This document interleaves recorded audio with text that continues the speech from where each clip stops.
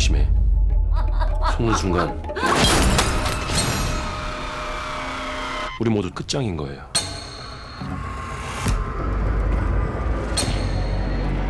나한테 왜 그랬어? 대체 무슨 말 하는 거야? 왜 그런 거야? 무슨 소리야? 어젯밤에는 아빠가 둘이었어요.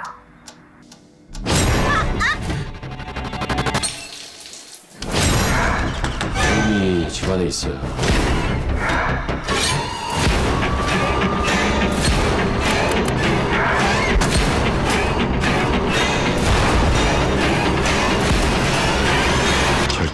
믿지도 듣지도 마.